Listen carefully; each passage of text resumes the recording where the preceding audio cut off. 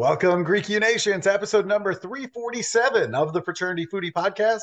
I'm your host, Mike Ayalon, CEO of Greek University. I'm a speaker and also an author. Our third book is called From Letters to Leaders Leveraging Your Fraternity or Sorority Experience to Land Your Dream Job. So go and get that book on Amazon today. We call these episodes the Fraternity Foodie Podcast because there is nothing like great food in order to bring college students together. Fun fact I am a huge fan of the show Shark Tank. It's one of those shows that you can watch with the entire family as entrepreneurs and inventors show off their products to these wealthy investors. Many years ago, my wife and I were actually on a television show with Barbara Corcoran, one of the sharks on the show. And Barbara helped us sell our house in New York super quick. She gave us so many tips when the cameras were not rolling. And that is what impressed us the most. She's as genuine and friendly as you see her on television, while many others on TV, they might only be friendly when the cameras are rolling. Barbara is the real deal. Let's talk to another inventor today on our show. A popular figure in the consumer products and financial services industry, Gene Pranger has created and worked on some of the most well known products in the world. He was an advertising executive who guided some of the most well known global brands and new product introductions. He now holds more than 31 US patents for his creations. 10 years ago, Gene developed the Do Something Wonderful protocol to help relieve some of the inner mental turmoil he was experiencing. This self-proven methodology has proved has provided a positive lifestyle for those who are suffering from loneliness, isolation, low self-esteem, feelings of entrapment, and general unhappiness to find greater inner peace and sustained happiness. Welcome to the show, Gene. Thank you very much. It's wonderful to be here. Hey, listen, it's a pleasure to have you on the show. Love talking to a fellow entrepreneur. And uh, I just can't wait to get into your head and start crawling around in there to see what else you're working on. But let's go back to the beginning because I think this is always interesting. You decided on Brigham Young University in Utah, of course, for your undergraduate experience. Tell our audience why was BYU your choice? Well, when you're a poor high school student, money talks, and and they offered enough money and enough scholarships for me to get into my first year without having to get a student loan. Really, that's the reality. And uh, it seemed to be the easiest course. And when I got to campus, actually, it was a great experience for me. Um, the students are really great. The, the professors were wonderful. And so I stuck around. I, I, I ended up uh, getting my bachelor's degree and then going on to Northwestern after that. And that's where I accumulated all my debt. so you made up for it later, basically. I definitely did. I there's there is no amount of scholarships that would ever help you go to Northwestern. I've decided. yeah, I'm going through the same drill with my son right now, and you know he's got a lot of options. Super smart kid, but I think you know he did some of the mathematical computation, and he said, "Dad, I'm taking the full ride. I'm going to state school." well, there's nothing wrong with that. If I were to give advice to college students and sorority students, you know, these state schools can be very, very good venues um, because the competition is a little bit different when you go into an Ivy League school versus local state schools. And if you can make it, and you can set yourself apart more easily in state schools as well. Yeah. So I think there's a lot of advantages to staying local. Yeah, I agree. He wants to stay local to be close to his mom too. So that's always helpful, you know, to have a home cooked meal. But I agree with you. And, you know, just looking at the rising cost of student debt, it's, you know, it becomes harder and harder to justify uh, to pay as much money and to be as much debt as we're talking about these days because the cost has increased significantly since when we were in college. Yes, yes, absolutely. Yeah, that is for sure something to keep in mind. Now, you were an advertising executive. You guided some of the most well known global brands and new product introductions for companies like Healthy Choice, Andersen Window Centers, Hormel Products, General Mills. These are huge companies. What's your advice to college students who are listening right now who want to make it big in the advertising or marketing space? Yeah, that's a really good question. You know, there are so many opportunities in that particular field, and what I really enjoyed about it the most when I when I went into my first agency job is just the level of responsibility that you have relative to other peers that go into other types of jobs. I mean, you're working on multi-million dollar budgets, and you're going to at that time $500,000 video commercial shoots. And today they're even that much more expensive. And plus, you get exposed to some great people. You get to travel when you're quite young, uh, pretty liberally for the most part. And, and so there's a lot of advantages that way. But if you want to make it big, in what I would call the advertising marketplace, the, the, the tide has shifted a bit in terms of when I entered that category to where people are entering it today. It's all about understanding social media and how to do campaigns surrounding how to target by individual today, as opposed to in mass media where you have advertising that's happening um, in a television or magazine or newspaper. It used to be that way. You can have these broad swaths of marketing messages that go out to a broad range of different people even though you target it on your demographics as well. But today we can drill down very specifically to 18 to 24 year olds. You know, they're at certain colleges and that they have these certain inclinations in terms of what they like to watch and on TikTok or on YouTube or whatever it might be. And so the the prospects of where people coming into this field today are just unlimited because what's happened really is that in the media field that you used to have these hundreds of millions of dollars that were going into broadcast television. And now all those budgets are in question today and they're funneled back into social media. And what that means is, is that by being able to, to understand that quarter category really well, you can really capitalize on gaining kind of the commissions associated with the placement of that media and control the media more. And so I would say that there's probably more opportunity to make money in the field if you understand the craft well uh, than it was when I entered the field of advertising because the agencies made all the money. Today, it's agency is a individual sitting in front of a computer screen trying to make it work. But here's the caveat and, and what really separates those that will be successful and those that won't be successful, because it's just not understanding uh, social media, but it's about spinning the story. It's about how to take a messaging and communicating it clearly enough as well as making captivating enough so people absorb the message and act upon it, right? And so I would say if you're good at both of those elements, understanding social media and understanding how to spin the story and respin a story and then respin it again, then you're going to be extremely successful in that field. Wow, that's great insight from a veteran in the industry. I really appreciate that perspective. And you're right, it has changed quite a bit. I mean, uh, you know, advertising on TV is just very different. Uh, people are probably looking more towards live events like uh, football, for example, uh, to spend their advertising money or in social media. I mean, that's where the big money is at right now. That's where all the eyes are glued. So you got to be where the fish are, I guess, so to speak. And I, I would only add on to that, you know, I absolutely loved being in the agency business for almost 10 years. I mean, it was just, it was, it was so much fun.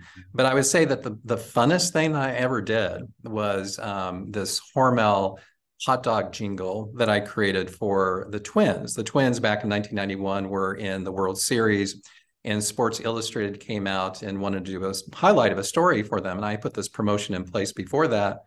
And the promotion goes like this. You're sitting in the Twins game uh, the middle of the third inning, this Hormel hot dog song would come up. And it says, Now that you're at the game, are you in Hormel's Row of Fame? If you're in the lucky seat, you can win a Hormel hot dog treat. Great for lunch, great for dinner. You could be a wiener winner if you're in Hormel's Row of Fame. well, the Sports Illustrated writer came in and and actually gave me the best compliment I've ever been given in my entire professional career. He said, well, the twins look to be doing quite well, but they have this hot dog jingle with quotes, unquotes in Wiener Winner. and uh, he said it was probably the worst hot dog jingle in the history of baseball. hey, it was memorable. exactly. That's exactly. That's why was, that was why it was such a compliment. I took yeah. it as like, this guy just did me a favor. Now the promotion went on to run 25 years, and I never saw another piece that this particular journalist ever wrote again. So, so you can see what outlived what, right? yeah, you were the big winner. You got the last laugh on that. That's totally fine. That's great. Now you hold over 31 U.S. patents, trademarks, and copyrights. The big one that you did is around video banking. Tell us, what did you invent there? Well, back in in 1995, I ventured out of the advertising business and went into and started my own firm. And this was because one of the clients uh, came up to me. Uh, it was um, it was Norwest Bank, which turned into Wells Fargo Bank, asked me that they had a branch in downtown St. Paul, Minnesota. And they asked me to take a look at the branch and see if I could put a team together to redesign it. And so I did and um, and the result is is history. They liked it so much that I thought, well, I don't have to work in the agency business. I can do my own thing, right? So I, I was one of the very first people that started a business that concentrates on the design and creation of retail banks, uh, which banks were not known for retailing at that point. And and so I went into that field. Over time, I noticed that the banks were very interested in creating efficiencies within their system. How do you think make things more efficient, not just from an operations standpoint, but allow accessible points for their consumers or guests that are coming inside those branches. And so eventually I designed a branch on the campus of UCLA, believe it or not. And um, it was right next to the Student Union building. And inside that building, I had an, the very first interactive video um, system, and it was sitting next to a traditional teller system. And I thought, oh, all I need to do is combine interactive video with a traditional teller, put the teller back in their corporate headquarters somewhere. They can conduct the transaction and have an ATM-like device in front of it that could dispense cash, accept cash, and dispense coin. So that's what I ended up doing. I thought, it, well, I should back up. Is that I had the idea, but then as many small business owners know at that particular time, I was missing one element, and that was money. I didn't have enough money to actually make that a reality, and you need a client.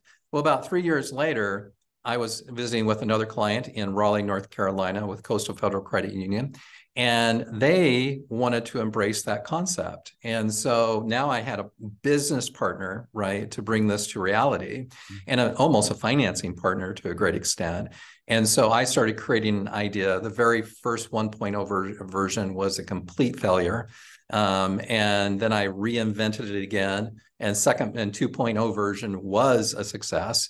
Um, and that ended up leading from one financial institution to another. And then eventually I sold that company to NCR back in 2012. Um, but like all good things, and everybody will figure this out as they go through their professional career, the very first thing, the very worst thing you can do is retire. You never want to do that. It's like retirement, uh, when people say they're ready to rest, it means that they're ready to rust and you don't want to rust, right? so I was itching to get back into the business world. And so I created mobile video banking then. And I just sold that to a venture capital firm just about six months ago out of Los Angeles. So the whole concept of video banking is the ability to be able to see and talk to a banker, whether it's for a transaction or a loan or a mortgage or whatever it might be, but still be able to do that over your phone handset over today or interactive video components that might be inside the branch or inside an office inside the branch. And it's been very successful. Very cool. I like it. I'm also going to be working forever as long as I'm above ground. Just keep me working. You got well, you and I will be out there with our canes. And whatever. I mean, hey, whatever it takes. I mean, you know, like I want to be productive. I want to do something. I want to help some way, you know, society. I mean, I, plus I don't play golf. So what else am I going to do? well, and that's, I'll tell you what, I've tried picking up golfing, but the one thing that everybody should know that unless you're a really excellent athlete, it destroys your self confidence completely. and so I finally made a hole in one three years ago, and that was it. I'm not doing this anymore. That's it. I'm just leaving right now because it can't get any better than this. I love it. That's really good. All right. So you are the creator and the author of the book. It's called The Do Something Wonderful Protocol. I know the book is scheduled to be released on June 13th. How did you come up with this methodology for the book?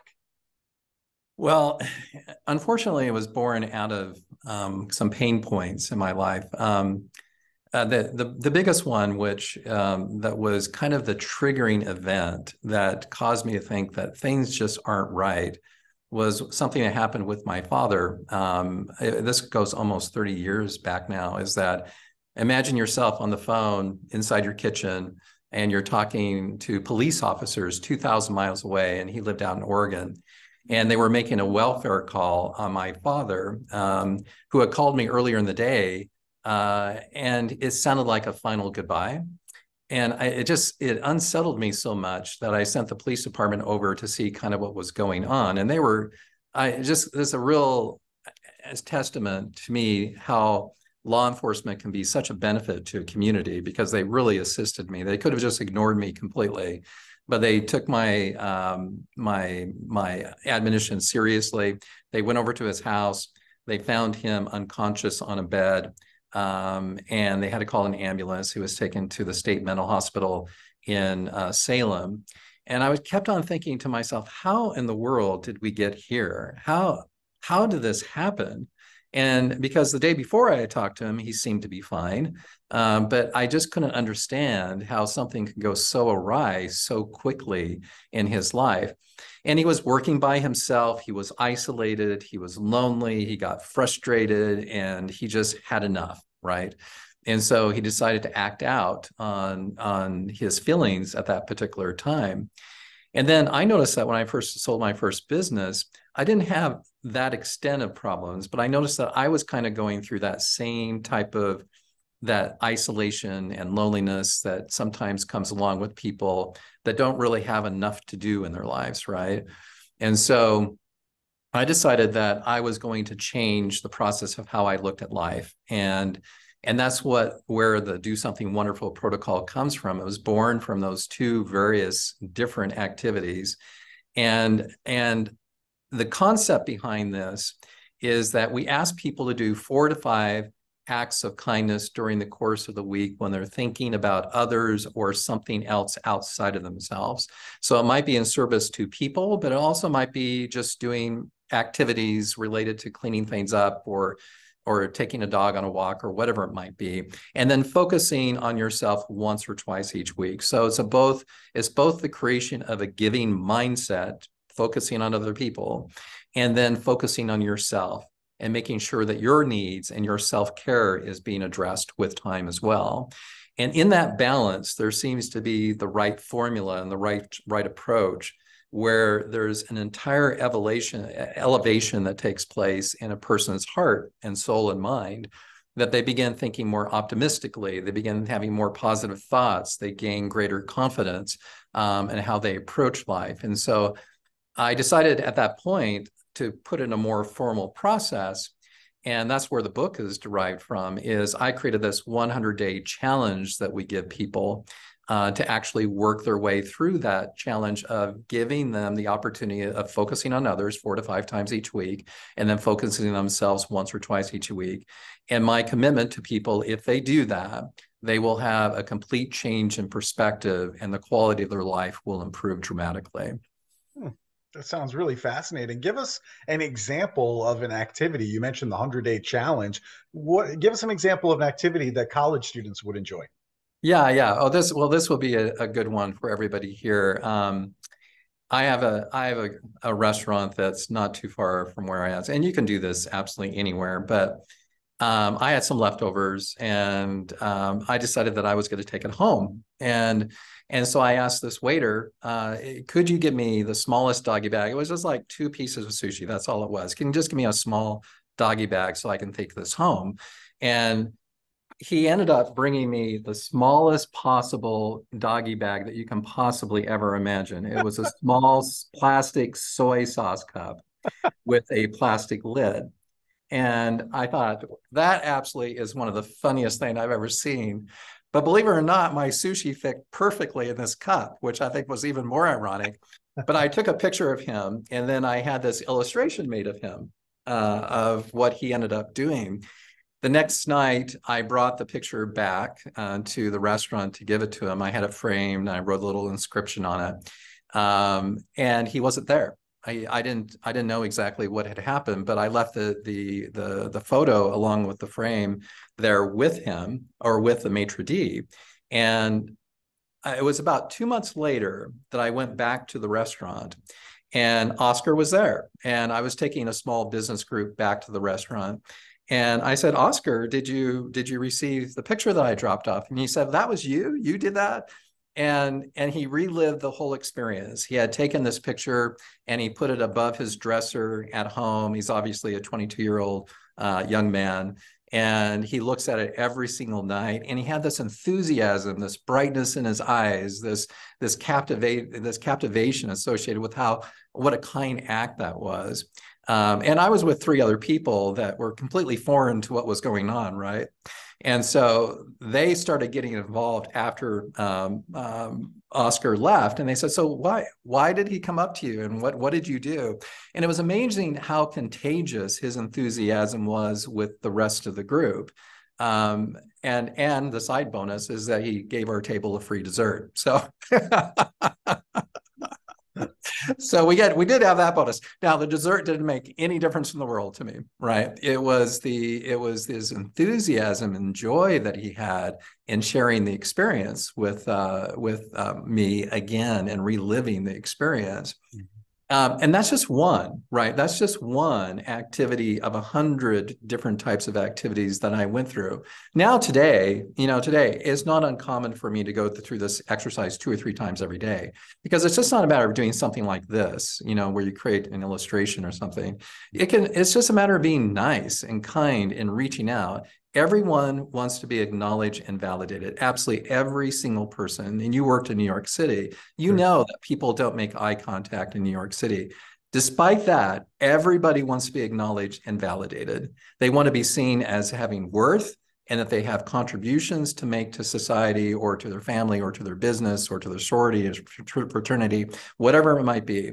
And so you just have to go in life thinking that someone may be disconnected for a time being, but I am going to engage with people and I'm going to make a difference for them somehow.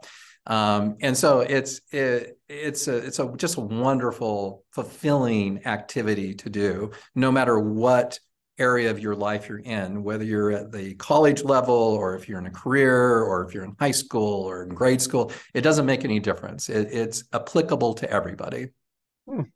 I really like this idea. You know, now you mentioned some of the benefits there of using this methodology. I mean, what's the what's the application of this book? Who's the ultimate end user for this book? Is it everybody?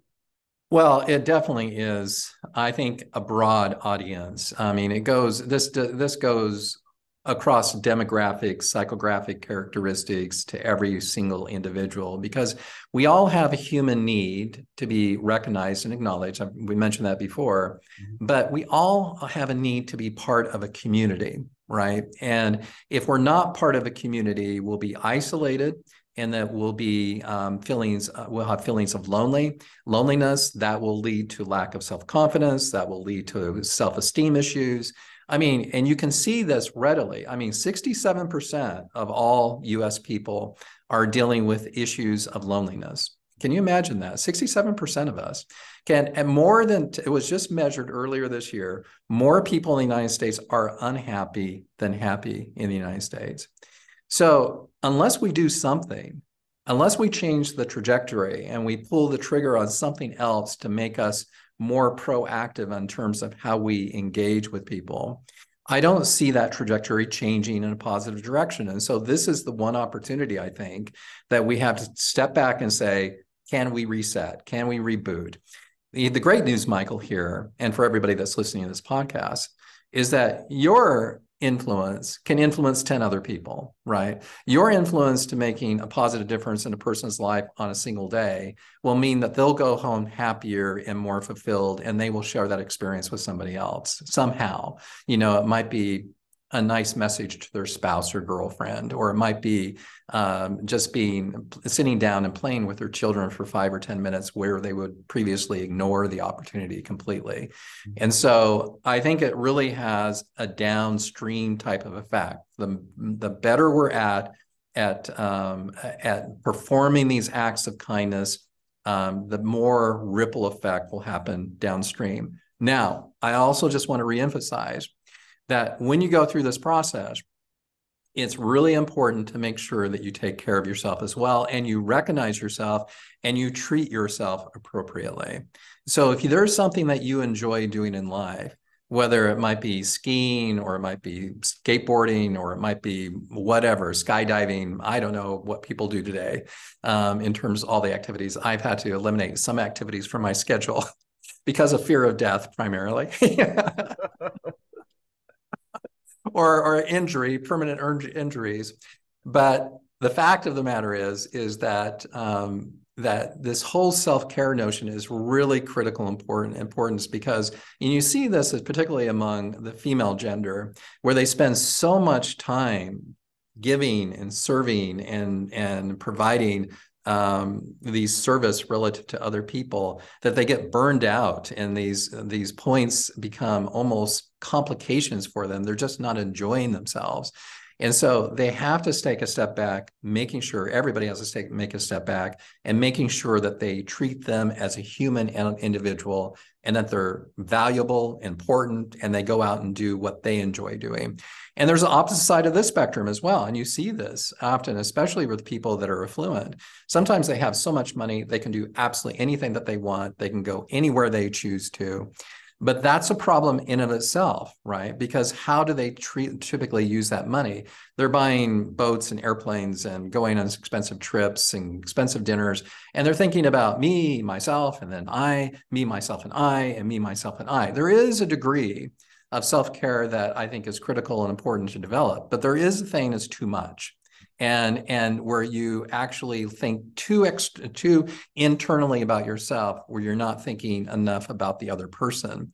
And so the goal here is creating this mindset this giving mindset and then giving to yourself as opposed to thinking the world was created for me and everybody should serve me which is a completely different problem right yes, that's definitely a whole different problem. I mm-hmm. really love this idea. I think it's something that fraternity and sorority members can adopt. I think it's something that they can implement on their campuses in order to spread happiness on their college campus. And I also think that other people are going to look at this just like the other people around your table might have looked at your act of kindness. And I think other people are going to want to join them in this pursuit. So, do you think this methodology would be helpful in getting new students to join an organization? Well, I, you know, it's just like joining a business or any social group or uh, whether it be a fraternity or a sorority or whatever it might be. You don't want to hang out with a, with a bunch of people that are constantly going to be belittling you and judging you and putting you down or or creating these boxes is that you're in this box until you get a certain seniority level.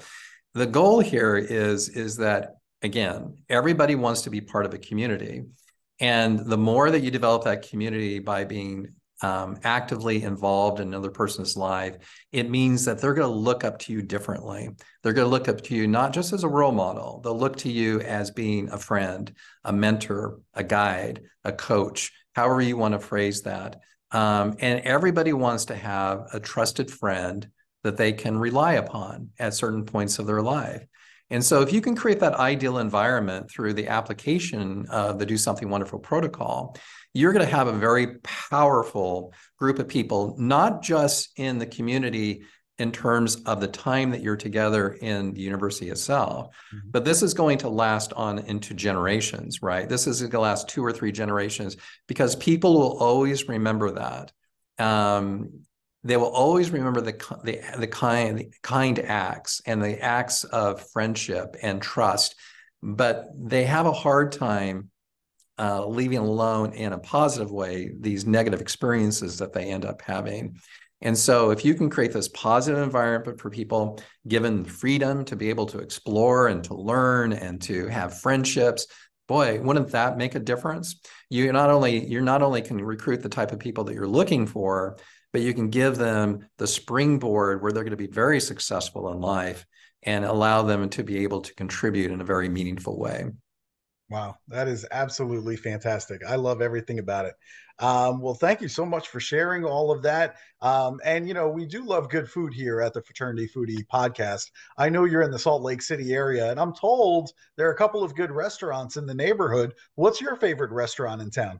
Well, I would say that this actually this restaurant that I show this illustration is called Mint uh, Tapas and Sushi, okay. and so they have these small little tapas dishes, as you're well aware, and they have sushi that is really extraordinary at that particular location. And just literally a block away is my second favorite restaurant. It's called Taburin, and at that restaurant, they serve these elk steaks. And it's a very one of the few places you can actually get an elk steak. And it's obviously grass fed because of, you know, of how it's fed and things of that nature. So and the quality of the meat is just really, really excellent. And so, and I only eat grass fed meat when I do eat meat, so it's not very often. But uh, those are my two favorite places. And if you come to Salt Lake City, they're a block and a half away from each other. I can hit both in the same. yes, in the same night, or lunch and dinner, however you lunch choose to put it out. That's a lot of fun. I really like that. So I will definitely check it out next time I'm in Utah. This is great. So if our student listeners, if they want to buy your book on June 13th, maybe they want to connect with you as a speaker on their college campus, where should they go to connect with you? Well, go to dosomethingwonderful.com. That's probably the best place. And there is a speaking uh, section on that particular um, um, uh, website as well. And then the book, the book comes out on June 13th, and they can go to Amazon or Barnes & Noble website and get it there. We're going to come out with a soft cover first, and then the hardcover full, full color version will come out in September because we have about 120 illustrations that are in the book as well, similar to the one that I just showed to you. Very nice. I'm looking forward to reading it as soon as it comes out. I can't wait to get my copy. So thank you so much for sharing all this great information with us today, Gene. Oh, it's been an honor. I, I absolutely love talking about the subject. And Michael, I can't say enough about what you're doing for your cause. So congratulations. Thank you very much. I appreciate that, Gene. And to our listeners, if you enjoyed this talk with Gene, make sure that you like it, make sure you share it on social media, and we'll see you on the next episode of the Fraternity Foodie Podcast. Thanks so much for coming. We'll see you next time.